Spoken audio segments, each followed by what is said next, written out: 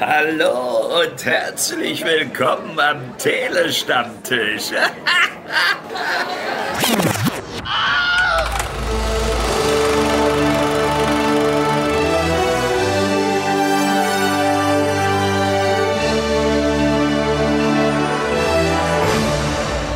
Hello there again oder This is where the fun begins. Ja, wir sind noch einmal zurück im Star Wars Universum, beziehungsweise zu Obi-Wan Kenobi zur Abschlussbesprechung dieser Serie.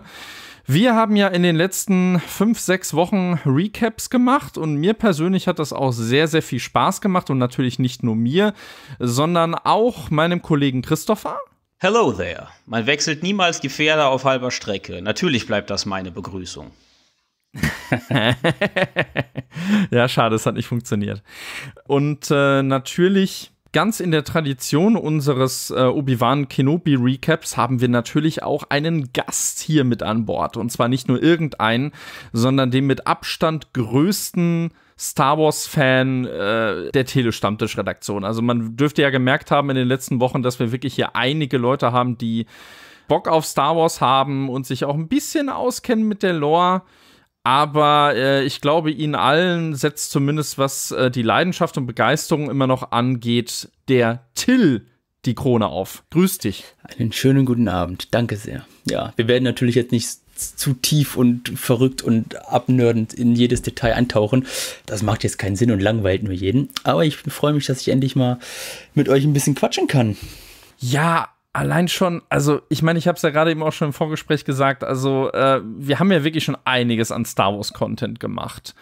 Also ob es jetzt irgendwie hier zu Animationsserien, also da hatte ich ja letztes Jahr mit Boris und Patrick zu May the Fourth über die beiden Animationsserien Clone Wars und Rebels gesprochen. Da wolltest du ursprünglich auch bei sein, glaube ich. Stimmt, das war noch. Hm bei gefühlt wirklich allem und es hat nie geklappt aus diversen Gründen und deshalb freue ich mich jetzt wirklich mit dir über Obi-Wan Kenobi reden zu können oder generell über Star Wars. Aber äh, bevor wir da so ein bisschen äh, uns reinbegeben, in Tradition unserer Besprechung natürlich jetzt nur so eher kompakt, kurz und knapp.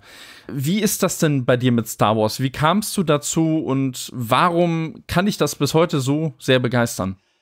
Wie kam ich dazu? Ich war sechs oder sieben, also ich bin Jahrgang 89. Das kann ich aber verraten. Und mein Vater hat Mitte der 90er, bevor die Special Editions rauskamen noch, von seinem Bruder von meinem Onkel die ähm, Trilogie auf VHS angeschleppt. Und mein Vater, mein Vater hat das immer so gemacht, wenn er nicht genau wusste, kann das mir schon zeigen und nicht. Er hat mich immer angeteased. Er hat mir zum Beispiel mal bei Jurassic Park meinen T-Rex gezeigt, bei Independence Day mal, wenn dann irgendwas explodiert und halt bei Star Wars gleich äh, Episode 5, wie die Läufer auf Hoth die Rebellen angreifen. Und ähm, das war ungefähr, also ich würde sagen, es gibt die Hochzeit und die Geburt meines Kindes und danach kommt diese Szene. Ähm, so.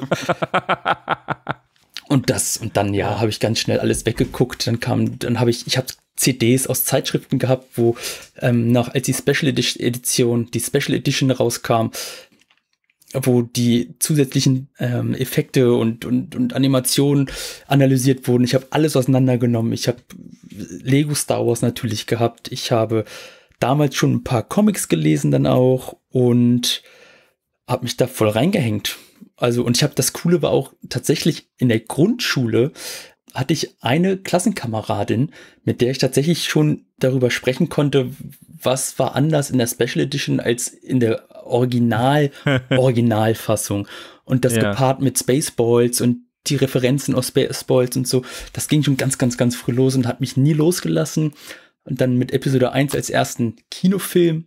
Als Kind ist Episode 1 übrigens absolut großartig. Ich mag ihn immer noch, aber ähm, was da abgefeuert wird, wenn man, wenn man mm. 10 ist, ist der Wahnsinn. Ja, kann ich, kann ich bestätigen. Ich bin Jahrgang 90. Ja, okay. Und dann hat es nicht aufgehört im Endeffekt. Also ich habe dann alles aufgesaugt, außer Comics. Da bin ich jetzt wieder eingestiegen, seit Disney das wieder übernommen hat. Deswegen finde ich die Kanonlöschung vor 2012 auch ziemlich cool, tatsächlich, weil mir da nichts verloren geht.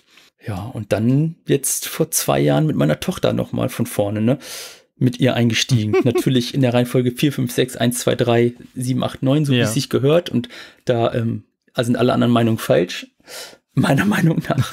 Ja, und das hat's nochmal auf ein anderes Level gehoben. Wenn sie da völlig durchdreht, weil Vader sagt, es ist, es ist Lukes, äh, er ist Lukes Vater und tatsächlich mhm. meine Tochter mit Tränen in den Augen bei Episode 6 sitzt auf dem Sofa und weint, weil Darth Vader jetzt stirbt, obwohl er gut geworden ist. Also das waren ganz, äh, nochmal als Vater ganz, ganz coole Momente. Das ist im Endeffekt runtergebrochen, das. Und die Welt ist einfach schön, weil es ist, es ist nicht so eine typische Sci-Fi Star Trek Serie. Kein Hate, kein Hate, nur als Vergleich. Sondern du hast einfach so eine schöne, verzauberte Märchenwelt im Endeffekt, die dir alles bieten kann. Und auch gerade deswegen kann ich vieles verzeihen. Und vor allem, weil die OT einfach auch voll mit Mumpels ist, kann ich einfach auch vieles verzeihen. Da passiert so viel, was Quatsch ist, aber es ist einfach Hammer. Macht mir Spaß. Du hattest ja gerade die Special Edition erwähnt, weil die war ja vor ein paar Jahren konnte man die als Laserdisc, glaube ich, kriegen oder, oder irgendwie in einem, in einem DVD-Master, aber was ziemlich scheiße aussah. Hast du die auch zu Hause? Ich, nee, ich habe die Originaltrilogie auf VHS, dann habe ich die Special Edition von Mitte, Ende der 90er auf VHS und habe im Endeffekt das Ganze nochmal auf DVD und auf Blu-ray, aber auf Laserdisc nicht. Ich habe mhm. ne, ein Hörspiel auf ähm, von 78 auf Schallplatte von Episode 4. Oh, mhm, wow. Das ist ziemlich cool, ja. Wow.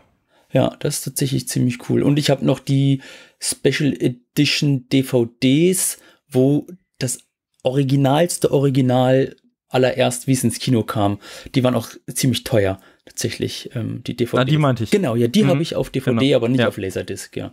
Okay. Ja, okay. Genau. ja, das ist ja so eine Sache, die bekam man, glaube ich, zumindest in den USA irgendwie nur auf Laserdisc. Ja. Und das sah auch teilweise nicht gut aus. Nee, sieht, sieht ähm, also dadurch, dass, nee, es sieht scheiße aus, aber es ist egal. ja. ja. Und ich habe jetzt ähm, vor ein paar Wochen mein, ähm, mein Ultimate Collector Series Millennium Falcon von Lego zu Ende gebaut. Und er sieht fantastisch aus. Gerne mehr Fotos, ja, ja in ja. unseren Discord-Chat. Ja. Ja, gut, damit haben wir dich ja, glaube ich, so ein bisschen festgezurrt als Star Wars-Nerd. Ja, äh, unsere Meinung zu Obi-Wan kennen die Zuhörerinnen und Zuhörer ja eigentlich ziemlich ausführlich. Also äh, diese Casts hier sind auch teilweise sehr viel länger geworden, als das vorgesehen war. Ja, das ist auch schön. Ja, so, so ist das oft. Also äh, ich muss auch sagen, also es ist auch nicht so, dass wir uns mit Sachen zu lange aufgehalten haben, in meinen Augen. Und äh, ja, wenn es das hergibt, why not? Da wäre jetzt aber so meine Frage, weil du es auch schon im Vorgespräch meintest, äh, was hattest du dir denn so von der Obi-Wan Kenobi-Serie erhofft? Also erhofft habe ich, dass es mich überrascht und dass es mir wirklich gut gefällt, weil ich finde, dass vor allem in den Prequels Ewan McGregor ein richtig geiler Obi-Wan ist, und auch von seinem Schauspiel her. Mhm. Das, das, das ja. ist einfach, deswegen fällt, glaube ich, auch das Anakin-Schauspiel so ein bisschen auf, weil Ewan McGregor einfach wirklich gut ist. Und ich wusste nicht, was auf mich zukommt. Keine Ahnung. Ich, ähm, mhm. keine Ahnung. Mit dem Trailer wurde ich dann wirklich tatsächlich ordentlich gehypt, weil ich die Inquisitoren auch total interessant finde. Ja, bei Rebels sind sie halt, das ist halt doch eine recht kindliche Serie im Gegensatz zu Clone Wars. Mhm. Und ich wusste tatsächlich nicht so genau, was mich, was ich erwarten kann. Keine Ahnung. Das ist schwierig. Ich habe einfach nur gehofft, dass es mir gefällt. Und das tat es. Ich weiß gar nicht, ob ich das überhaupt so gesagt hatte. Also der, der erste Trailer hat mich tatsächlich auch ziemlich gehuckt. Vor allem die Musik fand ich halt großartig. Also da haben sie ja irgendwie eine Rendition sowohl von Battle of the Heroes als ja. auch von Duel of the Fates gehabt. Und deshalb ist das dann umso ernüchternder gewesen, dass halt davon absolut nichts in der Serie ist, zu hören war. Ja, das ja. ist also ich, das ist wahrscheinlich mein größter Kritikpunkt. Viele habe ich nicht. Mhm gerade durch den Trailer und, diesen, und jeder kennt diese Musik, das war ja unfassbar ein Trailer. Und dann erfährst du aber von diesem Soundtrack so gut wie gar nichts in der Serie und auch habe ich auch letztens hier gesagt, als wir den abschließend geguckt haben, es bleibt auch selbst das Theme von Obi-Wan, was, was Williams ja extra komponiert hat, bleibt nicht hängen bei mir. Ja, ja. Aber trotzdem schließt sich dann mit Folge 6, wo dann die alten Themes kommen, dann doch irgendwie so ein bisschen der Kreis. Man wird zumindest ein bisschen belohnt fürs Warten. Das ist okay. Das fand ich dann ganz gut, aber ich hätte tatsächlich bisschen mehr von dem, was man kennt. Gerade weil wir haben Layer.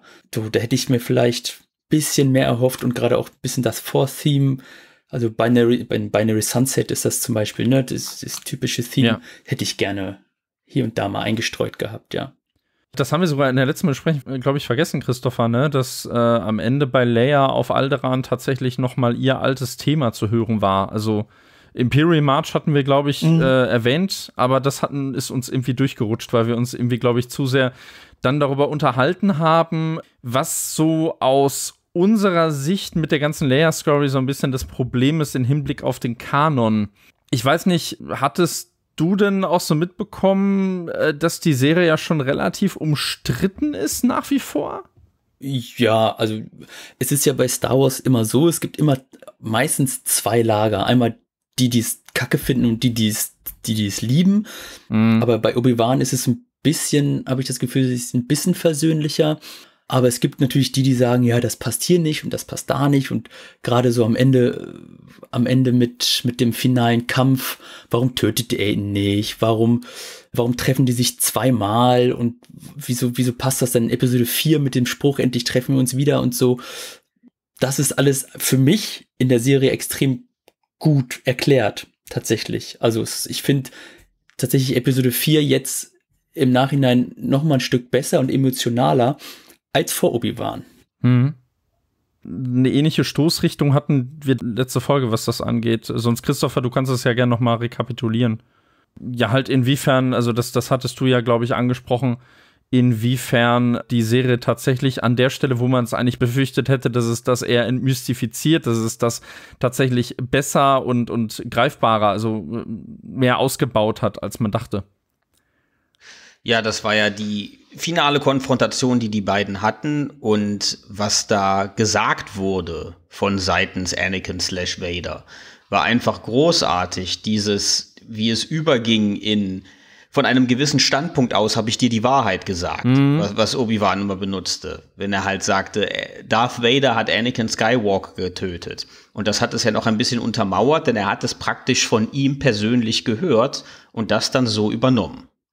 Und das, das, das war großartig. Da hat mich dann das auch nicht mehr gestört. Wie kann das denn zusammenpassen in Episode 4 mit ihrer Konfrontation im Todesstern? Aber da haben wir ja auch schon mal drüber gesprochen. Das ist ja ein eventueller Übersetzungsfehler.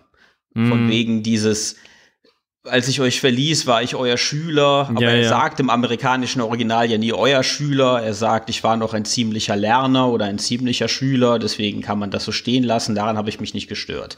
Aber wie gesagt, der Obi-Wan-Vader-Konflikt wird durch diese Serie nicht zerstört, beziehungsweise die Kontinuität wird da meiner Meinung nach nicht platt gemacht. Ein anderes Problem wiederum ist ja die ganze Leia-Geschichte, da wurde ja ein ganz neues Loch aufgemacht, womit man nicht gerechnet hat. Das ist ja das Komische, das hatten wir, glaube ich, dann auch im Finalcast ja. gesagt. Die Befürchtung, die man hatte, was da zerstört wird, wird nicht zerstört. Dafür öffnet die Serie aber neue Plotholes. Und das ist ziemlich seltsam. Das welche, welche, welche fallen euch ein? Ja, die, die Nachricht in erster Linie. Wenn Obi-Wan und Leia sich schon gekannt haben, dann macht die Nachricht, die sie in R2 einprogrammiert, irgendwie nicht wirklich Sinn. Ach so, ja. Also halt, äh, wie sie, wie sie, wie sie formuliert ist, das klingt halt nicht wie, äh, also so, so wendet man sich halt nicht an jemanden, der einem x-fach das Leben gerettet hat und ich meine, klar, also es kam dann auch oft dieses Argument, ach ja, die war ja noch irgendwie ein kleines Kind. Man erinnert sich ja auch nicht immer an, an jeden, den man als Kind getroffen hat, aber die hat ja wirklich, also das, die, die hat ja wirklich äh, äh, viel mit dem erlebt und viel durchgemacht. Also das kann die unmöglich vergessen haben. Und die sagt ja auch nicht, also halt schon diese, diese Distanz, die die da hat in der Nachricht. Du merkst halt, dass das nicht in der, in der Story einfach so vorgesehen war. Ja, das ist richtig. An, andererseits ist es halt schwierig. Man kann sich alles in jede Richtung immer zurechtbiegen. Ich, ich, ich sehe es so, dass man es als, als Kalkül, also sehr berechnend sehen kann von Leia, weil hätte die gesagt, ey, Obi-Wan, was geht, ne? Du hast mir so auf das Leben gerettet, jetzt ähm, brauche ich mal deine Hilfe. Das, mhm. wenn die Nachricht abgefangen wird, verrät das dem Imperium, gibt es dem auch viel zu viel Information. Also es ist eine, eine, eine gewollte Distanz, die Leia da aufbaut in der Nachricht. So kann man es auch sehen. Deswegen, das sind so Sachen, daran stoße ich mich nicht. Das ist halt, ist halt schwierig. Ja. Du kannst ja. es nicht perfekt machen. So, sie haben jetzt manche Dinge gut gelöst. Die haben das das na, ein Plothole oder Schwachsinnspunkt ist Episode 4 mit dem mit dem Torpedoloch haben sie mit einem ganzen Film gefüllt, der auch gut war. Ja. So, so ist es ja nicht. Weil er gut war, hat Disney auch kein Hate kassiert, deren Glück. So, deswegen finde ich es jetzt schon wieder so ein bisschen schwierig, wenn, ja, an, also an welchen Stellen rumgemeckert wird. Das ist so ein bisschen je nachdem, wer wie gerade Lust hat. Zum Beispiel dieses Ganze, dass Palpatine wiederkommt in der neuesten, in den, in den Sequels, in der Sequel-Trilogie. ja. mit dem ganzen Klon und so. Für mich ist es ich, total in Ordnung, weil äh, Palpatine ist die Klammer von 1 bis 9. Er war immer der Strippenzieher, aber das ist ein anderes Thema. Mhm. Und jetzt versuchen sie auch mit Obi-Wan so ein bisschen und auch wie in Mando schon dieses Klon-Thema weiter zu spinnen und zu zeigen, hier, das ist doch der Plan gewesen schon immer. Genauso wie sie mit, mit, mit Rogue One das Plothole aus Episode 4 geflickt haben. Mhm. Das ist, das ist alles für mich schon, schon ja. in Ordnung. Wenn man diese, ne, in diesen Bernsteinkammern, wo diese Jünglinge und Jedi ähm, waren, das sind ja, warum hebt man die auf? Ja, wahrscheinlich zum Testzwecken. Ne? Ja, das ist aber auch so ein bisschen mein Problem auch schon bei Mando gewesen, dass solche Sachen immer nur als so eine Randnotiz reingeschmissen werden, die für sich genommen zwar interessant ist, aber die, die letzten Endes eigentlich zur Handlung nichts beiträgt und, und ja, irgendwie, also da, da, da, da wird irgendwo auch Potenzial verschenkt an der Stelle und äh, da merkst du auch, dass da, also bei Mandalorian merkst du auch, äh, ja, dass das irgendwie so Ideen sind, die sie einfach mal mit einbringen, aber so wirklich richtig zu Ende gedacht ist das nicht. Beziehungsweise hat einfach nicht wirklich die Relevanz für den Plot und das hat sich mhm. hier auch noch mal leider wiederholt. Aber generell können wir ja mal darüber reden. Ich meine, ich weiß auch nicht, ob du das so mitbekommen hast, dass diese Serie ja auch ein ziemliches Sorgenkind war, lange Zeit. Ja, habe ich so am Rand mitbekommen, ja, das, das stimmt. Ja, also das Aber viel habe ich da nicht nicht mitbekommen. Ja, ich habe da halt einige News drüber geschrieben und äh, das war schon hart, als dann im, im äh, Frühjahr 20 äh, die Nachricht kam, ja, die haben so und so viele Leute in den Pinewood Studios nach Hause geschickt und der Dreh ist um ein ganzes Jahr äh, vertagt. Mhm, ja. Und das war ja auch nicht wegen Corona oder sonst was, das kam ja dann später dazu. Aber da dachte man sich auch schon, oh weia, da liegt irgendwas im Argen. Und auch wenn Ewan McGregor äh, das als Produzent so, so ein bisschen kleinreden musste, natürlich auch so PR-mäßig dann, scheint es da schon gekracht zu haben. Und äh, du siehst ja auch bei einigen Folgen, ich meine, es gibt hier Folgen, die haben vier Drehbuch-Credits. Mhm. Und dementsprechend fühlt es sich auch manchmal so an. Also es, es wirkt an manchen Stellen nicht so wirklich rund also auch so von der, von der Schreibe her, weil, also, die Serie, die kehrt sich zum Beispiel doch äh, für meinen Geschmack zumindest ein bisschen zu schnell äh, äh davon ab, dass Obi-Wan so desillusioniert und abgekämpft ist. Also in der ersten Folge hat mich das halt zum Beispiel gestört, dass zum einen dieses, ich bin jetzt hier alleine, der Jedi-Orden ist, ist, ist im Arsch die halten mich alle für tot und ich verstecke mich jetzt hier besser. Und dann geht er aber direkt zu Owen Lars und sagt, ja, also irgendwann muss er aber unterwiesen werden. Und dann dachte ich mir so, ja, was denn jetzt von beidem? Ja, unterwiesen, damit er einfach nicht ähm, sich selber verliert in der Macht. Und wer es nicht kontrollieren kann, landet ja nicht auf der, auf der hellen Seite. Das wissen wir ja alle. Das, das fand ich okay. Also hat mich jetzt nicht gestört für mich schlagen da einfach vor allem, was das Drehbuch angeht, da irgendwie zwei Herzen drin. Also es ist ja, es ist sehr auffällig, dass der ursprüngliche Drehbuchautor Hossein Amini, äh, der ja zum Beispiel auch die Skripte zu sowas wie Drive geschrieben hat mhm. oder auch zur äh, Serie äh, The Alienist, äh, dass der hier oft einfach noch ein, noch ein Drehbuch-Credit hatte. Und du merkst vor allem, äh, dass dieser Joby Harold, der dann ja angeheuert wurde, also diese, diese vierte Folge, die ist halt äh, die erste, wo er wirklich im Alleingang was machen muss mit seiner Co-Autorin Hannah Fridman und es geht halt wirklich nach hinten los an der Stelle. Also, das, das ist Flickwerk gewesen. Und ich muss auch sagen, also, wer das, äh, Christoph hat es ja sehr, sehr oft auch gesagt, dass man sich immer mal wieder vorgestellt hat, dass das im Grunde einfach ein gestückelter Kinofilm ist. Äh, Folge 4 hättest du eigentlich komplett rausschmeißen können. Ja, ich, ich, mir hat Folge 4 eben Spaß gemacht. Es hatte halt wirklich fuck yeah Star Wars Momente, insbesondere mit Obi-Wan selbst und wie er wieder mhm. zu sich findet. Dass das Episode 4 inhaltlich besonders dünn war, vielleicht die dünnste von allen, ja, obwohl in Episode 5 hattest du auch nicht sehr viel mehr, eigentlich nur eine Belagerung und das war's. Mhm. Deswegen kann ich nicht hundertprozentig inhaltlich sagen, dass man die hätte rausschmeißen sollen. Aber ja, also in jeder Folge konnte ich das niemals abstellen. Ich hatte das ständig in meinem Hinterkopf, das hätte vielleicht ein Film sein sollen, das hätte vielleicht ein Film sein sollen. Mhm. Vor allen Dingen hätte man hier ein, ich, Dom, du hast dich sehr oft dagegen gesträubt, dass Fans gesagt haben, die Serie hätte auf Tatooine spielen. ja, ja, tue ich immer noch. Ja, hätte die Serie aber auf Tatooine gespielt und wir hätten keine Leia und keinen Vader hier gehabt und wir hätten einfach nur ein, ein Abenteuer mit Obi-Wan auf Tatooine gehabt, während er Luke im Blickfeld hat, während er äh, trainiert mit Qui-Gon Jinn und immer noch eins ist mit der Macht, dann hätte sich das hier vielleicht inhaltlich nicht so sehr im Kreis gedreht.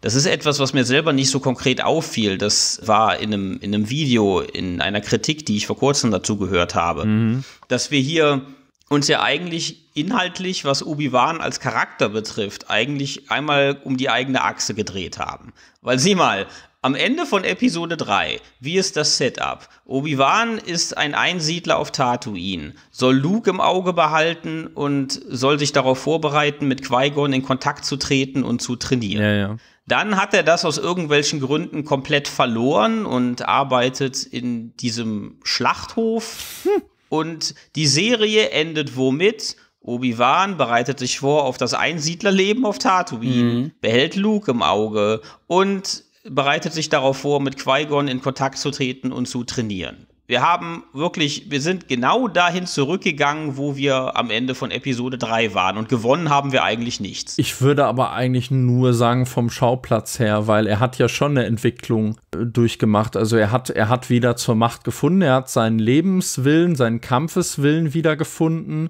Dadurch, dass er die Reise gemacht hat, kann er ja dann letzten Endes mit Qui-Gon connecten und er hat ja auch schon vorher, also ich meine, es hat ja auch seinen Grund, warum er so abgetakelt und, und desillusioniert war, weil er eben halt zehn Jahre auf diesem Wüstenplaneten mit Schuldgefühlen gelebt genau. hat. Und die ist er ja auch los. Ne? Ja, genau, das ist es, das ist, glaube ich, fast der wichtigste Punkt, dass er die Schuld, dass er wieder im Reinen ist mit sich selber, nachdem ja. Anakin in all seiner Wut und all seinem Hass aber auch gesagt hat, dass er, Vader hat Anakin getötet. So, ja, das ist natürlich auch einmal Bezug nehmend auf Obi-Wan in Episode 4 im Film, mhm. aber auch einfach, dass Obi-Wan jetzt auch, ja, das, diese, diese Last genommen wird. Nur am Ende von Episode 3 war er eigentlich nicht gebrochen. Er war immer noch gefasst und er hat gesagt, okay, wenn wir das jetzt so machen müssen, dann müssen wir das so machen. Und zu sagen, ja, er hatte ja trotzdem hier eine Reise und eine Entwicklung hinter sich gehabt, Gut, aber um das haben zu können, musste man eigentlich den Obi-Wan-Charakter, was die Entwicklung betrifft, ein bisschen zurückschrauben, um ihn dorthin zu bringen, wo er eigentlich schon am Ende von Episode 3 war. Also ich finde das nach wie vor ein bisschen faul. Ja, aber es macht ja, es, es macht ja Sinn, den Charakter so zurückzuschrauben. Wie gesagt, er hat zehn Jahre lang in der Wüste gelebt, äh, völlig, völlig isoliert eigentlich auch. Äh, mit der Ahnung, dass wahrscheinlich irgendwie oder, oder einfach halt mit der Befürchtung, dass, dass der ganze Orden wirklich tot ist, mhm. dass er gefühlt der letzte Jedi ist, abgesehen vielleicht noch von Yoda, von dem er aber irgendwie auch nichts hört. Nein, geht ja auch nicht. Das ist ja das Problem. Obi-Wan muss ja seine, muss ja im Endeffekt seine Präsenz runterschrauben, um nicht gefunden zu werden. Ja. Das gleiche, das gleiche macht äh, Yoda, weil auf, auf Dagobah. Hm. Und das gleiche macht ja auch, auch Luke in, in, in der Sequel-Trilogie. Die gehen ins Exil. Mhm. Die gehen ins Exil, aber du kannst nicht noch krass Jedi-mäßig da rumüben und Steine schweben lassen und mhm. ähm, was weiß ich was, weil dann haben dich 1, 2, 3 hatte ich gleich Vader und der Imperator und die Inquisitoren. Das finde ich schon einen logischen, logischen Schritt. Ja, Yoda war gut drauf, nach wie vor. Ja.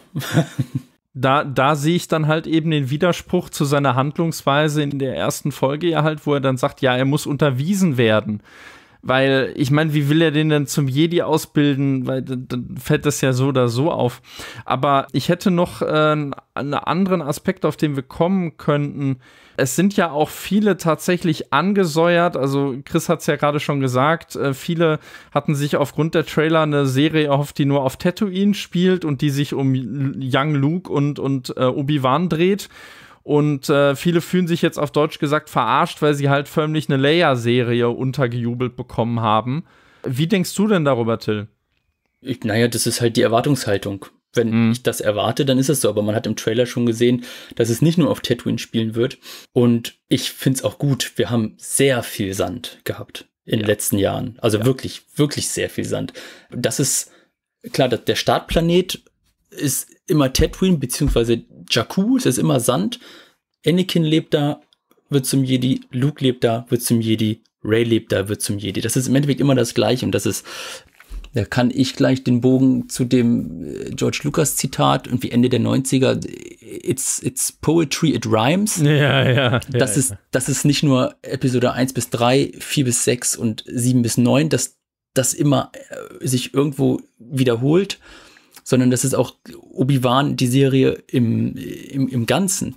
Du hast jede Folge entspricht, in Anführungsstrichen, aber, aber es spiegelt Elemente aus der jeweiligen Episode wieder. So, und das mhm. ist das, was ich zum Beispiel richtig, richtig, richtig cool ähm, finde. Wann habe ich das bemerkt? Bei Episode, ich glaube, bei Folge drei oder vier habe ich das dann bemerkt irgendwie. Mhm. Und dann wusste ich schon, okay, bei Folge fünf, ich bin gespannt, wie jetzt die, an Anführungsstrichen, Rebellen auf das Imperium treffen. Irgendwas muss sich ja da überschneiden. Das ist nie eins zu eins.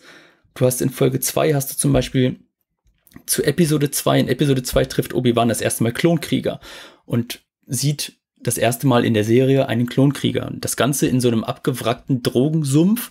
Genauso ein Drogensumpf, den er, den er auch auf Coruscant mit, mit Anakin wiederfindet, als sie den, den mhm. Kopfgeldjäger jagen, der Padme angegriffen hat. Und das spinnt sich die ganze Zeit so weiter. Und Episode 4 zum Beispiel und Folge 4, da ähm, hast du auch relativ viele Ähnlichkeiten bis hin zu am Ende, wo Vader zu Tarkin sagt, naja, ich habe einen Peilsender daran gehauen ans Schiff. Das sagt ja dann Reaver auch zu Vader. Ja, ja, das fiel uns auch auf, tatsächlich. Absolut. Und das finde ich richtig geil, weil diejenigen, die es bemerkt haben, und so war es bei mir, ich konnte dann ab Folge 3, 4 überlegen, okay, wie, wie stellen sie das dar? Und das hat mir wirklich gut gefallen. Ja, ist so. Diese, diese Spiegelung. Ja. Weil das ist auch Star Wars. Das ist Episode 1 bis 3, 4 bis 6 und 7 bis 9 zeigen im Endeffekt immer das Gleiche mit anderen Schwerpunkten so. Ja, das äh, hatte ja auch, also als wir Brit Marie in der Sendung hatten, war das ja, glaube ich, wirklich das A und O. Schöne Grüße an, an die Kollegin. War eine sehr, sehr schöne Sendung. Aber also das, das gehört natürlich irgendwo immer auch dazu. Also ich mochte es auch tatsächlich, wie äh, ja schon wirklich ganze Dialogzeilen aus, aus äh, vor allem aus den Prequels hier halt wieder mhm. Verwendung fanden und es, es passte schon an den Stellen. Also es wirkte auf mich auch nicht erzwungen. Ich muss ja sagen, ich, ich habe auch selber äh, durchaus so eine Schwäche für so, ja, Metaspielereien, Spiegelungen und so weiter. Ne? Also äh, mehr dazu in unserem Westworld-Cast. ja. Memo an mich selbst, ich habe immer noch nicht Staffel 1 geguckt. Ja, dann äh, aber mal mutig. aber Staffel 4 hat ja jetzt erst angefangen, naja. Ja, es ist vielleicht, also, äh, du hast ja gerade schon gemeint, also die Trailer haben natürlich gezeigt, dass es nicht nur auf Tatooine spielt, aber man muss sagen, und wir waren ja auch wirklich überrascht in der ersten Besprechung mit Werner, äh, dass äh, ja, äh, dass Leia hier plötzlich auftaucht, weil die war ja wirklich aus der, aus der Kampagne komplett rausgehalten worden. Ne? Und das, das war dann schon überraschend, aber wir mochten es ja tatsächlich. Ich auch. Die Kleine ja? ist ja der Wahnsinn. Also, ja. Mhm. Die ist super. Die ist so toll und so putzig und so süß und mal abgesehen von der lame Verfolgungsjagd, die alle. Oh, ja, ne? ja. Da sind wir bei, bei It, It's Poetry, It Rhymes. Wir haben auch eine lame Verfolgungsjagd bei Boba. Also von daher. Ja, aber das war neu Next Level, wirklich. Das war die am schlechtesten. Auf jeden das, Fall. Das, das war äh, der erste Moment, wo ich wirklich äh, Bedenken bekam, weil das war der schlechteste, ohne Übertreibung, war das der schlechteste, inszenierteste Moment der ganzen Serie. Ja. Mhm. Die anderen waren schlecht geskriptet, ja, ja. Ich war auch sehr überrascht, ja. Und als die, als die Kamera über, über Alderan ging, da, also dieser Planet sieht ja so schön aus. Ich, ich habe Alderan nur gesehen bei, in diesem Online-Rollenspiel damals, 2011. Mhm. Da bin ich darum gestapft und fand das schon toll, aber das sah so toll aus. Wirklich. Also da habe ich auch wirklich, wirklich Gänsehaut bekommen aber ja, großartig. Obwohl wir da auch schon bei einem anderen Aspekt sind. Viele stört ja tatsächlich der Look der Serie und halt auch, es gibt ja große äh, Kritik an der Inszenierung von Deborah Chow, also vor allem, dass die Action irgendwie nicht so richtig funktioniert hat an vielen Stellen und das ist ja immer eine Königsdisziplin von Star Wars. Oder ja, also hier, ich glaube, Kenny hat das auch kritisiert, Christopher, ne? Die, die äh, Shaky Cam. Ja, die Shaky Cam, wobei ich mit der Shaky Cam kein Problem hatte, aber was, de, was die Action betrifft, ja, das war einfach irgendwie ein bisschen lahm. Ich finde, das ist das beste Wort, um es zu beschreiben. Mhm. Wir sind das aus den Filmen und auch bei, bei Mando und so weiter gewohnt, dass Star Wars Action-Szenen sind immer pure Überwältigung der Sinne. Es passiert so viel auf einmal in so einem Mordstempo, was dir immer um die Ohren gehauen wird. Blasterschüsse, Lichtschwerter, Explosionen, Kämpfe. Und hier war das einfach lahmarschig und ich kann mir nicht erklären, woran es liegt. Das ist eine gute Frage. Ich fand's nicht so schlimm. Also ich bin, wenn die Kamera nicht stimmt, normalerweise auch sehr mäkelig. Mhm. Vielleicht, und ich, ich gebe das ganz ehrlich zu, vielleicht hat mich auch einfach dass ich, ich mich selber geblendet in meiner, in meiner Leidenschaft zu, zu, zu Star Wars. Ich wäre wahrscheinlich viel kritischer, wenn das äh, irgendeine andere Serie wäre. Mhm. Das ist auch, ähm, das ist, ist einfach so. Aber ähm, die Action in Folge 5, wenn dann das Imperium ankommt, das fand ich richtig cool, die Schießereien. Das fand ich gut. Und auch die Lichtschwertkämpfe mhm. und die Variation in dem, was man sieht. Das ist vor allem das, was ich so gefeiert habe. So die, die Lichtschwert-Action zähle ich einmal der Kampf Darth Vader Reaver, einfach um zu zeigen, wie übermächtig jemand sein kann. Ja. So, Vader, das war, ey, ohne Lichtschwert gegen, gegen einen, dann auch Doppellichtschwert. Das war Wahnsinn, einfach nur mit der Macht die Dinger gestoppt. Und dann das, was man in Folge 6 gesehen hat, die, die Lichtschwert-Action, das fand ich gut. Also auch die Choreografien nicht so drüber wie in Episode 3. Dennoch hat man so ein paar äh, Nonsens ähm, Wurbler, Schwurbler auch gesehen. ja, aber, ja, ja. aber natürlich ganz bewusst. Und ähm, aber es ging halt eher dahin, was wir dann in den folgenden Filmen auch zu sehen bekommen. Und haben wir noch mal ein Leckerbissen mit Rogue One. Da war Vader ja auch super mit seinem Lichtschwert. Ja, das hat mich alles nicht gestört. Also die, die Action ist, ist eher vom Look her, würde ich sagen. Dieser, dieser Viper-Druide, dieser Suchtdruide mhm. zum Beispiel. Ja, das CGI, da hätten sie vielleicht noch mal einen Monat dran werkeln können. Das sieht hier und da ein bisschen zu poliert aus. Nicht, nicht dieser straight polierte Look, Look vom Imperium, sondern mhm. ja, es hat zu sehr geglänzt, es sah so ein bisschen zu sehr, ja, nach CGI aus, leider, ja. Ja, das ist aber generell so ein bisschen durchwachsen auch in der Serie. Also manche Sachen sehen schon gut aus, keine Frage. Ich meine, es ist ja, es ist ja, äh, Christopher, wie hattest du es so schön gesagt, es ist, es ist Disney halt, ne? Und manchmal ist es, also manchmal sieht es aus wie Kino, manchmal sieht es aus wie TV. Mhm. Also vor allem, vor allem äh, ganz negativ ist mir das aufgefallen hat in der letzten Folge, wo Obi-Wan halt aus seiner Höhle geht und einem dann auch wieder so äh, leise weinend einfiel, ach ja, er hatte eigentlich mal ein Haus oder was. Ja. Ähm, das sah einfach das sah einfach so nach Studio und Kulisse aus oder einfach nach, nach Stagecraft und das ist, das ist auch eine Schwäche. So toll diese Stagecraft-Technologie aus, aus The Mandalorian auch ist und die ist ja wirklich revolutionär, ne? muss man mhm. ja sagen in Hollywood aktuell. Die stößt hier vor allem in so, so Höhlenszenen wirklich an ihre Grenzen leider. Ja, das ist die Frage. Haben die wirklich die gleiche Technologie benutzt? Ja. Weil ja. Ich, ich, ich kann das nicht glauben. Weil der Unterschied zwischen Mando und dem hier ist ein Unterschied wie Tag und Nacht. Die haben in Mando es geschafft, mit diesen LED-Hintergründen hm. dich äh, dich erfolgreich zu täuschen und glauben zu lassen, da wurde etwas draußen gedreht und obwohl es alles im Studio gedreht wurde. Halt diese eine Folge in Mando Staffel 2, wenn Grogu Kontakt aufnehmen soll in diesen Ruinen des alten Jedi-Tempels. Ja, ja. Das sieht aus, als wären die irgendwo draußen auf einer Wiese. Ja, und der, ich hab's das abgekauft. Der Jedi-Tempel sieht einfach nur aus wie ein völlig x-beliebiger Steinhaufen, beziehungsweise was übrig ist. Also, das war, das fand ich sowas von einfallslos. Also, weil du denkst dir dann so, ja. Ja, der Punkt ist aber, der, der Punkt Ja. ist aber der, es sah wirklich so aus, als wären sie irgendwo Ja, ja, natürlich. das draußen gedreht. Ja, Ja, das, Und- das lasse ich der Serie auch, ja. Und da hätte ich halt geglaubt, dass die in Obi-Wan einem die Illusion von Hintergründen und so weiter genauso täuschend echt präsentieren können. Und da war ich sehr ernüchtert, dass die das nicht geschafft haben und dass das so aussah. Deswegen habe ich mich echt gefragt, war da wirklich die gleiche Abteilung von ILM am Werk oder waren da irgendwie andere? Das ist eine gute Frage, ja. Also man, man kann ja Disney Star Wars äh, durchaus einiges vorwerfen, aber was man eigentlich nie bemäkeln konnte, ob es jetzt bei der Sequel-Trilogie war oder selbst bei sowas wie Solo, das CGI ist immer top gewesen. Und bei Solo, ich meine, der hatte ja, glaube ich, sogar eine Oscar-Nominierung für Effekte und er hätte die auch wirklich durchaus, also er hätte den, den, den, äh, die Auszeichnung durchaus verdient gehabt, weil äh, man muss bedenken, die haben ja 80 Prozent des Films neu gedreht und hatten echt nicht Ja. viel Zeit und es sah, es sah wirklich gut aus, dass der ganze Film insgesamt zu dunkel war. Das äh, steht auf dem anderen Blatt, aber da haben sie wirklich abgeliefert und man fragt sich hier an einigen Stellen einfach, was hier los gewesen ist. Und ich kann es mir nur halt erklären, an einigen Stellen halt, äh, ja, mit, mit äh, erschwerten Drehbedingungen unter Corona, beziehungsweise dass Deborah Chow vielleicht eine ist, äh, die sich da nicht so gut dran anpassen konnte, womöglich. Das kann gut sein, ja.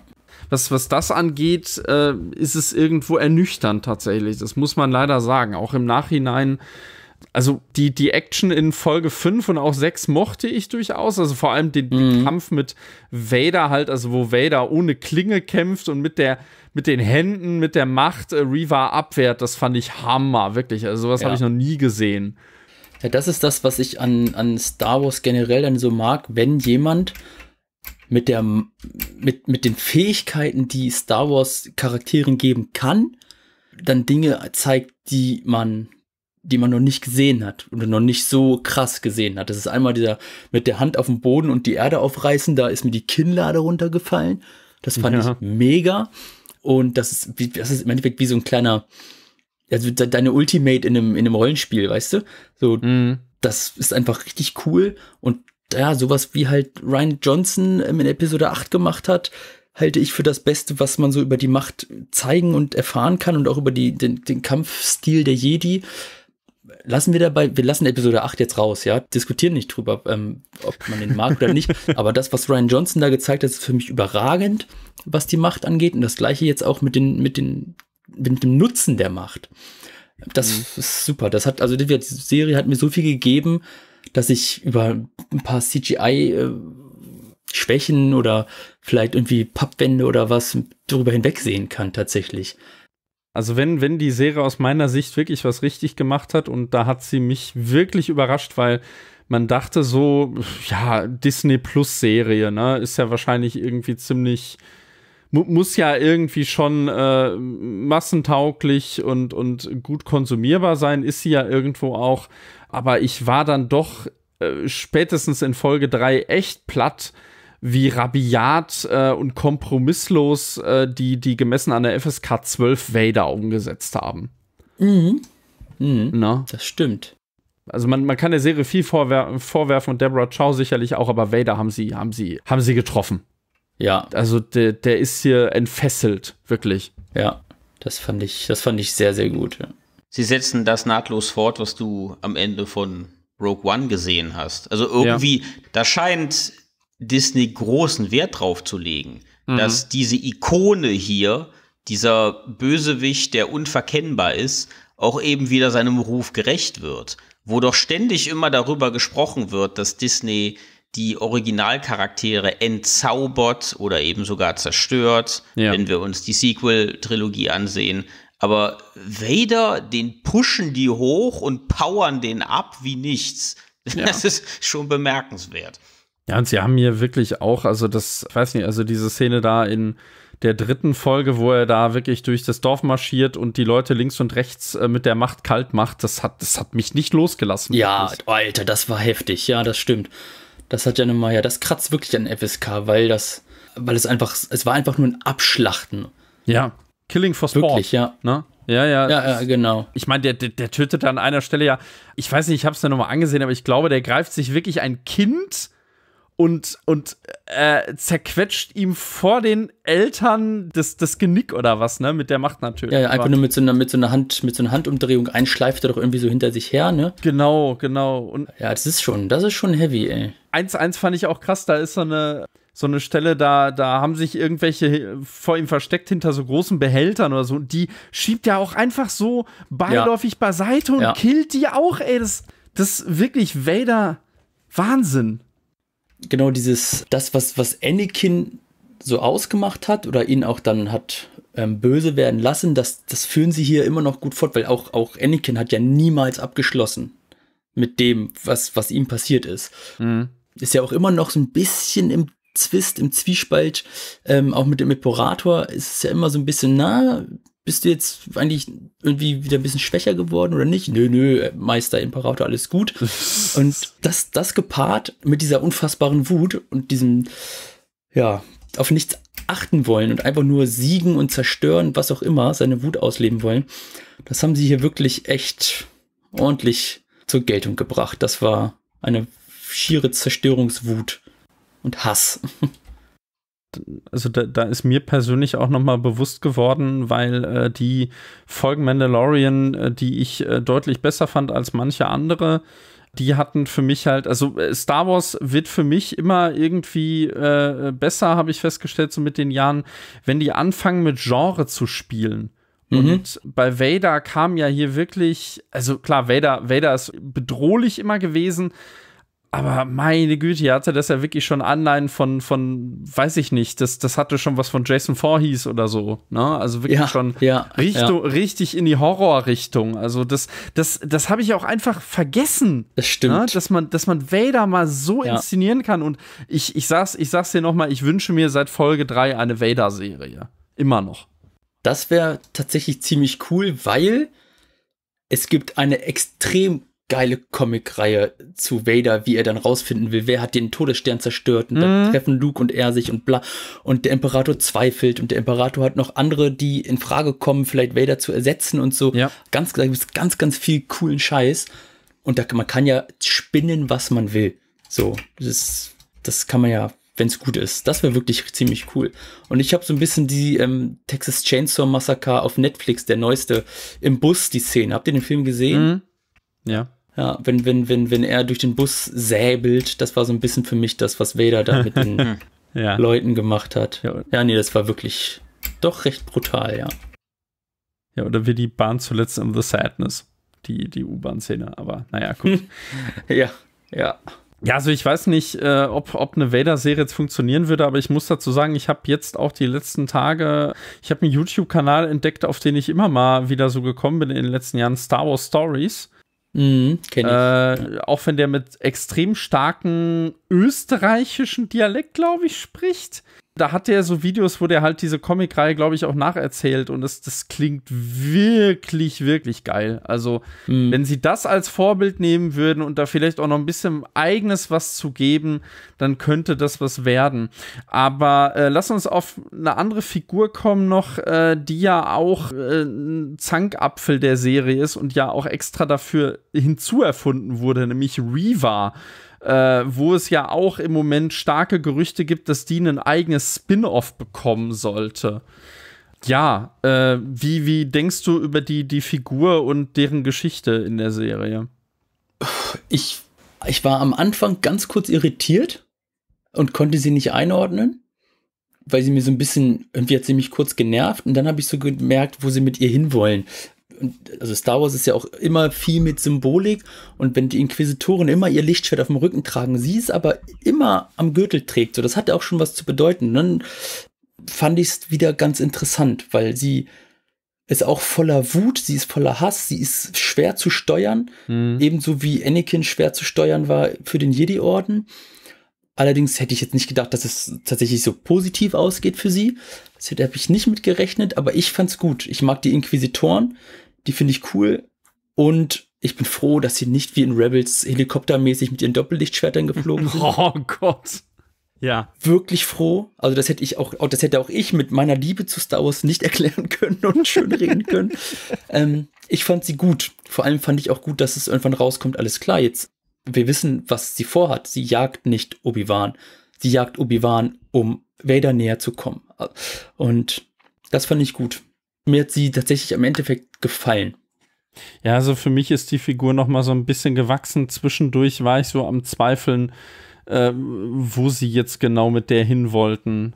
Ja, ja, es war bei mir am Anfang so auch, genau. Aber es hat vieles im Nachhinein dann schon Sinn gemacht, wobei ich mir dann schon die Frage gestellt habe, ja gut, sie will halt an Vader herankommen, aber sie ist ja eigentlich da schon in Vaders Umfeld. Also wozu diese ganze, diese ganze Mission und was für mich halt auch überhaupt, also ich, das fände ich mal spannend, weil wir haben uns wirklich die Frage gestellt beim Finale jetzt, mhm. äh, was jetzt eigentlich ihr Antrieb war, Luke zu töten. Ja. Also das, das, das habe ich, das ja, hab ich nicht verstanden. Das ist im Endeffekt, also sie ist ja, sie ist ja die einzige, die, die ja tatsächlich von diesen beiden Kindern jetzt weiß. So. Und mhm. Sie wollte erstmal, sie war so voller Wut und voller Hass und hat dann gedacht, sie, sie, sie schafft jetzt das, dass sie noch, noch, noch stärker wird als, als Vader. So, sie, sie macht jetzt so weiter, sie will ihn übertreffen. Das ist so ein bisschen das, wo sie vom Hass geleitet wurde, glaube ich.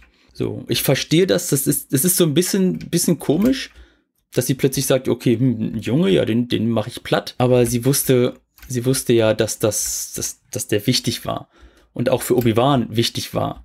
So, und dann hat Obi-Wan es halt dann doch geschafft, sie irgendwie mal wieder mit Worten, so wie sie es ja auch geschafft hat, dass sie gegen Vader äh, dann tatsächlich kämpft, dass sie, dass sie dann doch nicht Böses tut, weil sie dann einsieht, sie ist nicht jemand, der Vader dann übertrifft, sondern sie ist jemand, der dann wird wie Vader.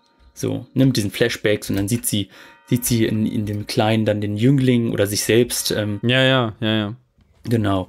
Was, was sich mir halt nicht erschlossen hat, äh, warum sie überhaupt aufgrund dieser Nachricht also wie, wie, wie ist sie auf die Idee gekommen, dass die Kinder, die da erwähnt werden, ja nur Vaders Kinder sein können?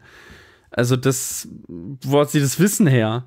Ich weiß nicht, ob sie das weiß. Was sie auf jeden Fall noch wusste, und sie war ja immer noch vom, vom Hass zerfressen, wie es ja so vielen dort geht, wenn sie sich nicht entscheiden können, gut oder böse. Ähm, ganz am Anfang hat sie ja Owen Lars getroffen und mhm. hat ganz, ganz genau gewusst, okay, der verbirgt irgendwas der Typ ist so tough und irgendwas, irgendwas weiß er. Und dann hat sie das in der Nachricht halt, halt erfahren und ist dann nochmal hin, um sich selber auch zu bestätigen. Aber ich, das ist so ein bisschen was, wo ich sage, ja, ist schon richtig, dass man da nicht unbedingt, das hätten sie vielleicht mal so eine Minute noch ausschmücken können.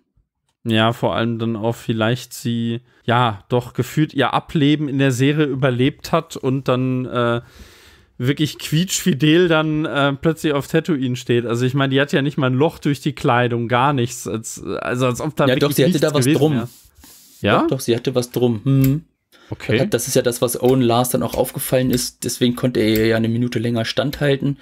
Da hat diese was drum. Ja, das ist, das ist richtig, dass natürlich erstmal seltsam ist, aber es ist wie immer, die dunkle Seite der Macht ist halt nicht, also sie, sie, sie ist erstmal wirkt sie kraftvoller und stärker, weil die durch ihren, durch ihren Hass, den sie dann entwickeln, so einen Überlebenstrieb bekommen. Ist ja mit Darth Maul, da haben sie ja auch ähm, zurückgeschrieben, der wurde zerteilt. Ja, ja, ja. Qui-Gon wurde erstochen, direkt verbrannt. So, das hätten sie vielleicht nochmal gucken können, ob er nicht noch lebt.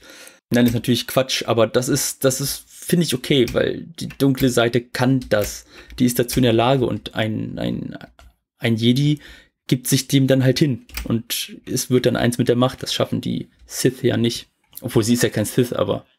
Hat vielleicht auch ein bisschen was mit der Anatomie zu tun. Mm. Weil Qui-Gon ist letzten Endes immer noch ein Mensch und da eine Stichwunde, da kann die Macht vielleicht auch nicht viel machen und äh, Darth Maul ist kein Mensch, deswegen konnte man es mal erklären. Seine Rasse kann das vielleicht überleben, in der Mitte durchgeschnitten zu werden. Ja, natürlich, natürlich. Ja, oder auch hier der, der Großinquisitor. Stimmt, der wurde auch Gott, es wurden ganz schön viele Leute erstochen in Star Wars, ja. Ja, ja obwohl, obwohl der Großinquisitor auch so eine verschenkte Figur ist, weil, also da habe ich wirklich das Gefühl, der ist hier nur drin, weil, oh ja, remember him from Rebels, weil mhm. so wirklich viel zu tun hat er nicht. Und auch ihn zurückzubringen war irgendwo witzlos, weil ich meine, er hat dann in der, in der sechsten Folge äh, vielleicht eine Dialogszene mit Vader und ward dann nie wieder gesehen in der Serie. Ja, genau. Und in der fünften, ne? Als er dann wieder Großinquisitor ist. Genau, genau. Das, also ja. fand ich verschenkt. Wenn man Rebels kennt, ja klar, natürlich, wenn man Rebels kennt, weiß man, das war's nicht, weil er lebt ja noch in Rebels. Ja, da ist er ja auch schon mal irgendwie zurückgekommen oder was. Das, da hatte ich auch so, noch mal von daher. Videos gesehen. Die, ja. die Spezies von dem, die hat zwei Mägen anscheinend. Also damit kann es wohl auch zusammenhängen, dass der überlebt hat. Äh, aber bei Reva. Aber das ist, ja. ja, das ist halt wieder sowas, da braucht man auch nicht. Ich finde, da muss man, das muss man auch nicht zerdenken, finde ich. Ja, es, also es, es kommt drauf an, äh, womit ich halt immer ganz große Probleme habe, wenn du halt einen Bruch mit der inneren Logik hast. Wenn halt, mhm. wenn halt eine äh, ne Regel aufgestellt wird und dann bricht der Film oder die, die, die Erzählung die selber. Dann wird es einfach schwierig. Mhm. Zum Beispiel auch dann hier in der letzten Folge, da ist ja mit dem Pfad das wirkte auch nicht so wirklich zu Ende gedacht, weil dann dachte ich mir sehr, okay, gut, Vader jagt jetzt Obi-Wan hinterher und was ist dann jetzt mit dem Sternzerstörer und dem Pfad? Das wird ja irgendwie dann nicht zu Ende erzählt und dann nach hinten raus ist alles gut. Welchen Pfad meinst du jetzt? Äh, diese Organisation einfach, mit der die da flüchten. Also die hieß ja der Pfad. Ach so, die quasi die die angehenden die angehenden Rebellen quasi. Genau, richtig. Ja, ja.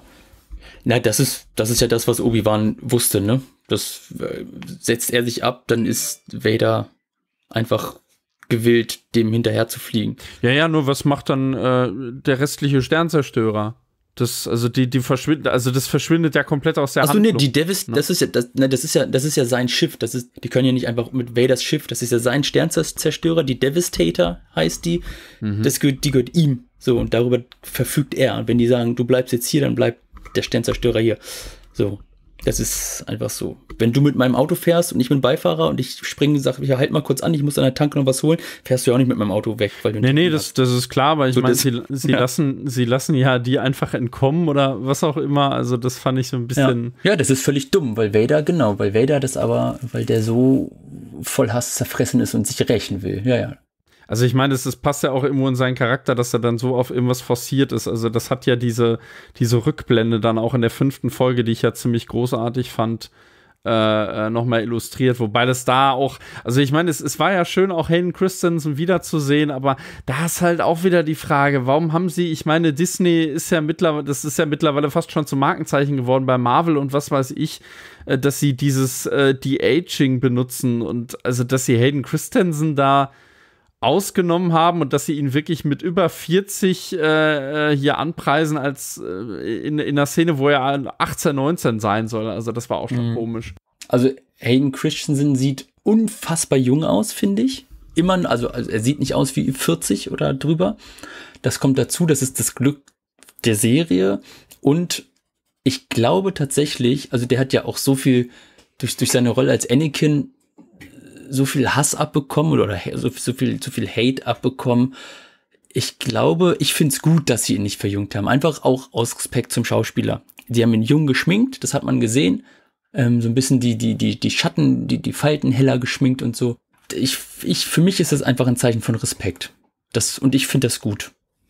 Also. Ja, wirkte auf mich tatsächlich einfach unfreiwillig komisch. Ich meine, ja, weil äh, bei Marvel haben sie es wirklich mit allem gemacht. Sie haben es mit ihrem Zugpferd Robert Downey Jr. gemacht. Sie haben das es mit Leuten gemacht aus, wie ja. Michael Douglas. ja, stimmt. Und etc. Ja, es ging, es ging, es ging. Ähm, von daher, ich kann, ich meine, Respekt, sie haben es mit Toten gemacht, Herr Gott. Ja, ja. Aber da der Respekt. Mhm. Sie machten es mit Carrie Fisher und Peter Cushing. Also ich hätte kein Problem damit gehabt, wenn sie ihn verjüngt hätten. Aber ja, bei ihm, gerade, das ist ja das Komische daran, wie du gesagt hast, Hayden Christensen sieht nicht aus wie 40, absolut nicht, hat sich sehr gut gehalten. Mhm. Gerade deswegen wäre es kein großer Akt gewesen, hier und da digital ein bisschen ihn jünger wirken zu lassen. Da wäre nicht viel nötig gewesen. Und das ist eh deswegen die Frage, warum haben sie es nicht gemacht? Ja, gute Frage. Also stören tut's mich nicht, aber warum, das ist mhm. einfach meine Erklärung. Also mich hätte beides nicht gestört. Ja, mich hat's tatsächlich so ein bisschen rausgerissen, tatsächlich. Also ich fand ich fand's jetzt auch nicht, wer weiß wie schlimm, aber ich habe mir halt die ganze Zeit die Frage gestellt, warum sieht das jetzt so komisch aus und warum wirken er und Ewan McGregor in der Szene fast, als wären sie gleich alt, weil während sie es bei Ewan McGregor äh, wirklich richtig gut hingekriegt haben, seinen Look von vor 20 Jahren wieder herzustellen, mhm. ist es bei, ich, ich, ich habe es in der Podcast-Folge mit äh, Kenny, habe ich es verglichen mit Orlando Bloom beim Hobbit. Weißt du, da, da siehst halt auch, dass der, ja, dass der ja. deutlich gereift ist und dass der äh, in, in Herr der Ringe äh, zehn Jahre vorher oder sogar noch äh, weiter zurück, weil der, der Dreh, der war ja viel früher von Herr der Ringe. Also das, da, da siehst du halt auch einen Unterschied, ne? Und das ist dann umso irritierender, weil das eine halt die, die, die Vorgeschichte zum anderen ist. Mhm. Und das ja auch noch Elben sind. Also das ist, das ist, aber gut, das gehört jetzt woanders hin. Mhm. Aber damit, äh, da hat es mich halt irgendwie ein bisschen, bisschen dran erinnert. Ja, ich weiß nicht, Christoph, hast du noch Aspekte, die du ansprechen möchtest? Ich kann halt nur immer wieder sagen, auch wenn ich die Serie alles in allem einen guten Beitrag zum Kanon fand, es hätte ein Film sein müssen. Vor allen Dingen, es hätte meiner Meinung nach ein Film sein müssen, weil wir dann auch quasi so eine nette Spin-off-Trilogie hätten zwischen Episode 3 und 4, die halt wichtige Sachen abhaken. Du hast mit Rogue One die Todessterngeschichte, du hast die Han Solo-Einführung, du hast den Obi-Wan-Film, der hätte dann auch Kenobi, a Star Wars Story heißen können. Und dann hätte ich gesagt, gut, dann wäre jetzt mit drei Spin-off-Filmen so der Raum zwischen Episode 3 und 4 gut genug abgedeckt. Mhm. Und jetzt könnte man sich dann halt mit den Serien komplett auf den Zeitraum zwischen Episode 6 und 7 konzentrieren. Mit Mando, mit äh, Ahsoka, mit äh, Rangers of the New Republic, was ja leider oh. abgesagt wurde, was ich aber gerne gesehen hätte. Ja. Ja, wird ja wahrscheinlich immer noch mal neu kommen und dann wahrscheinlich ohne äh äh, Cara Dune, wie heißt sie denn nochmal, die Olle? Gina Carano. Genau, Gina Carano. Ähm, da ist aber eh so die Frage, äh, Till, da gibt es ja auch, also nicht nur, dass ein Reaver-Spin-Off kommen könnte, sondern auch, dass das noch nicht alles war. Also, Ewan McGregor hat ja schon gesagt, dass er noch mal Lust hätte, bevor er sich in Alec Guinness verwandeln sollte. Und äh, wie, wie siehst du das? Also ansehen würdest du wahrscheinlich so oder so, das ist klar, aber ähm, meinst du, es gibt doch eine zweite Staffel her oder sollte das eine abgeschlossene Miniserie sein, wie es ja angekündigt war? Hm. Boah, das ist immer ist schwierig. Also ich würde eine zweite Staffel an sich gut finden, wenn ja, also die müssen mir halt, ich kann mir halt im Moment nicht vorstellen, was dann kommen soll. Das ist halt das. Wir haben, wir haben, Vader ist durch. So, jetzt ist aber, jetzt ist vorbei mit Vader. Wenn die sich jetzt nochmal treffen, dann ja. auf Leben und Tod. Und das geht nicht, das wissen wir. Die Frage ist, was könnte mit Luke noch passieren? Das ist das Einzige, was eine zweite Staffel erklären würde, dass mit Luke irgendwas passiert. Ja. So, wenn sie mir das gut erklären, ich wüsste jetzt nicht, was da passieren soll. Ja, keine Ahnung. Also, wenn es gut wird, immer gerne. So, aber ich habe auch schon überlegt, wie eine zweite Staffel aussehen könnte. Aber bin aber noch nicht zu keiner Lösung gekommen. Keine Ahnung. Ja, also es ist ja dann wahrscheinlich, wenn dann die, die Luke-Staffel, das meinte Christopher ja auch schon öfters. Ja, ich weiß nicht, also für mich wird das nicht funktionieren, wobei er, äh, zumal er jetzt auch gesagt hat, äh, dass er sich ja irgendwie auch von dem Jungen fernhalten und dass der erstmal äh, ein Kind sein soll das, das ist ja, also das ist ja auch eine Entwicklung, dass er das eingesehen mhm. hat, ne, gegenüber Owen Lars. Äh, fand ich ja eigentlich auch eine sehr schöne Szene, auch wenn, ja, gut, der Plot eigentlich, ich meine, Owen Lars, das war so on hold alles. Aber ich weiß nicht, ich, ich will, ich will, ich will keine, äh, A, will ich keine Serie, die nur auf Tatooine spielt. Und B, ich glaube, wenn sie da jetzt irgendwie Obi-Wan noch ein Abenteuer mit Luke erleben lassen würden, dann wird das halt auch wieder ein zu enges Verhältnis ergeben, was dann nicht mehr so recht passen will zu Episode 4 einfach. Hm. Ne? Das reißt dann, das reißt dann ein ähnliches Loch da rein, also zumindest aus meiner Sicht, wie mit Leia. Dann, dann ist das einfach nicht mehr glaubwürdig, dass der irgendwie sagt so, ach ja, äh, ob er, ob er wohl den alten Ben meint, den ich mal irgendwie nur ein paar Mal getroffen habe. Ach nee, er meint den alten Ben, stimmt, der hat mir vor Jahren bestimmt drei oder viermal den Arsch gerettet, mhm. als, mhm. als die hinter mir her waren. Und ich habe mich dann, ich, äh, es ist auch nicht so, dass ich mich dann als Kind überhaupt nicht gefragt habe, warum die alle hinter mir her sind und bin ich denn was Besonderes und so weiter und so fort. Ja, genau, das ist das Problem, ja. Ja, ich meine, er will ja auch ständig von diesem scheiß Planeten weg, ne? Also, hm. das, das macht dann, also ich weiß nicht, für mich, äh, ich, ich sage nicht, dass, dass man gar keine zweite Staffel machen kann, aber man sollte es einfach so stehen lassen. Sie können gerne noch mal irgendwas mit Ewan McGregor machen. Das ist kein, kein Problem. Da möchte ich, von mir aus kann der Obi-Wan noch äh, ein paar Jahre spielen, was weiß ich, aber eine zweite Staffel brauche ich nicht unbedingt. Ja, ja, vor allem, weil sie jetzt auch in der sechsten Folge haben sie äh, extra nochmal drauf geachtet, dass immer wenn Reaver ihr Lichtschwert zündet, hm. dass Luke das nicht sieht, dass er nicht mit im Raum ist, dass er ganz woanders ist, weil er sieht ja das Lichtschwert das erste Mal in Episode 4. Ja. Da haben sie ja drauf geachtet, deswegen glaube ich nicht, dass sie jetzt sagen, ja okay, dann muss Obi-Wan jetzt nochmal Luke retten. Das denke ich auch, dass sie das nicht machen. Ja. Ja. Stimmt. Oh, sehr, sehr guter Punkt. Das wäre ja ein massiver Continuity-Fehler. Wenn der, Klei wenn der kleine Luke tatsächlich sieht, wie Obi-Wan Kenobi in Staffel 2 vor ihm mit dem Lichtschwert kämpft. Und dann hast du diese Szene in Episode 4, mhm. hier das Lichtschwert deines Vaters. Wahnsinn! Sowas habe ich ja noch nie gesehen. Außer diese fünf Male zuvor. Ich will das aber in Rot, so wie die ja. Frau vor oh, zehn Jahren. Mann, das, ja, ja. ja, ja, ja, genau. genau. In Rot sah es viel geiler ja. aus. ja. Das, das wäre katastrophal, wirklich. Genau. Ja. Und da haben sie darauf geachtet. Und deswegen glaube ich nicht, dass sie sagen, ja, okay, dann jetzt auf Obi-Wan und Luke. Ja, ja, vor allem war ja Luke auch irgendwo in der Serie äh, nicht mehr als eine Plot-Device, die halt für mich, wie gesagt, so dramaturgisch ein bisschen schwierig war und äh, ach, ich, ich weiß nicht, also manche haben da irgendwie geschrieben, ja, weiß ich nicht, dann gibt es da irgendwelche Streitigkeiten mit den Tusken und Obi-Wan muss ihn dann da raushauen, aber muss gleichzeitig auf Distanz zu ihm bleiben. Ach, ich weiß nicht, das, das, es liegt aber auch vielleicht daran, dass ich Tatooine als Schauplatz einfach so kackenlangweilig finde. Es tut mir leid, also das, das kann ich, das, das mag jetzt hier vielleicht schon ins äh, Nervige abgleiten, aber ich, ich, ich kann diesen Planeten einfach nicht mehr sehen und ich finde alle Konflikte darauf zwar nicht uninteressant, aber es ist einfach ein scheiß langweiliges Setting, was irgendwann einfach nur noch faul wirkt weiß nicht, und, und Boba, ey, weißt du, also ich, ich habe wegen Schlag gekriegt, als ich irgendwie auf Twitter gelesen habe, ja, diese ganze Serie soll nur auf Tatooine spielen.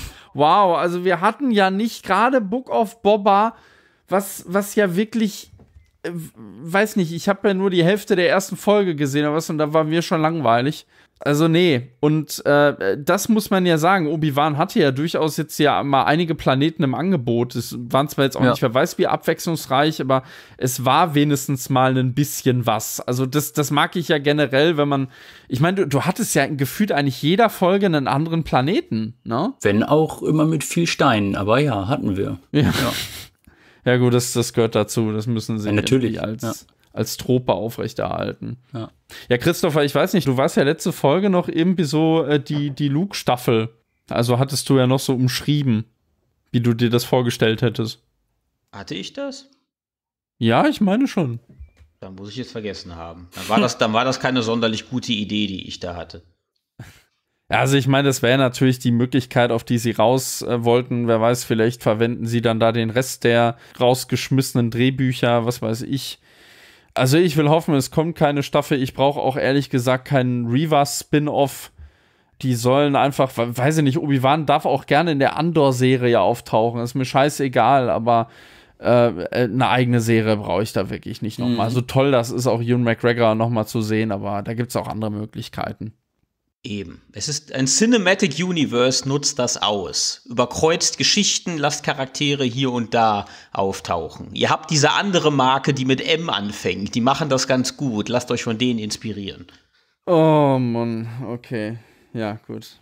Dann. Äh, ich glaube, da kommen wir dann wirklich zu einem Ende. Selbst in unserem Westworld-Cast wurde schon Marvel erwähnt. Das ist furchtbar. Ja, da kommst du nicht mehr drüber, also ja. nicht mehr von weg, aber überall. Äh, du hast zu viele Schauspieler einfach, die. Ja, ja, eben. Naja. Okay, dann würde ich sagen, kommen wir mal zum Ende. Äh, was man so als Fazit halt ziehen kann, die Serie ist für mich persönlich weder eine Katastrophe noch jetzt ein Meisterwerk.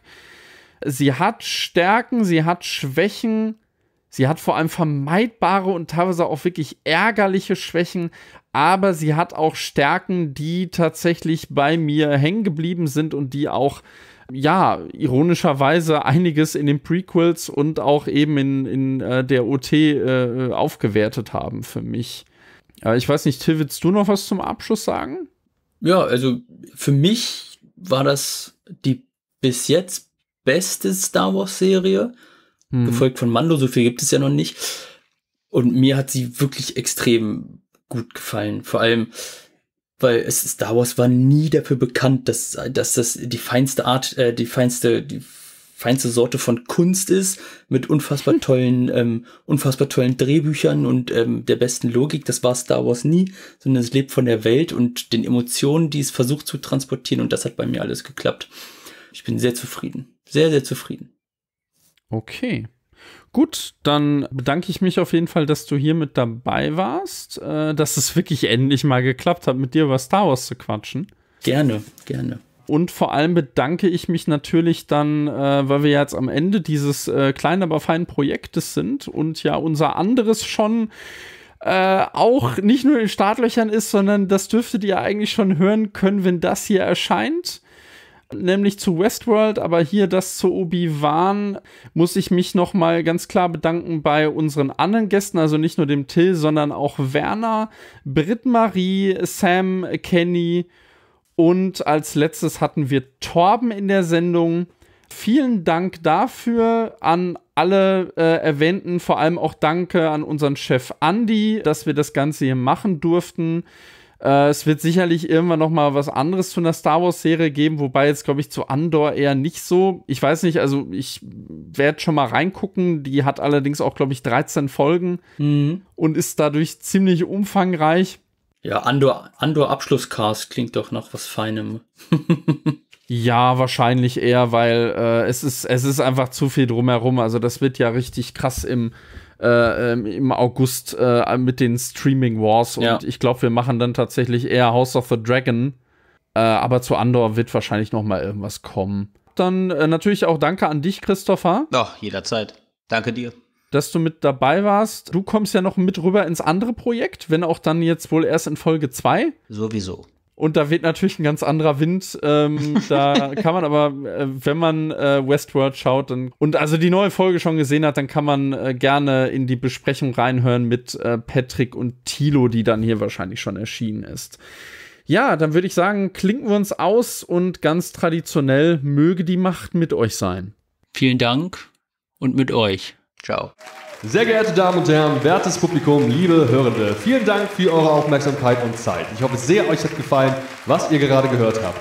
Wir, die Redaktion des Telestammtisch, betreiben ein semi-professionelles Podcast-Projekt zum Selbstmitmachen. Also meldet euch bei uns, wir beißen auf. Außerdem freuen wir uns immer über Feedback via Social Media und E-Mail sowie euren finanziellen Support. Ebenso frohlocken wir förmlich über Bewertungen auf den gängigen Podcast-Plattformen. Wer möchte, darf uns gern immer und überall empfehlen. Alle relevanten Links findet ihr in den Show Notes. Vielen Dank und bis zum nächsten Mal. Euer Andi.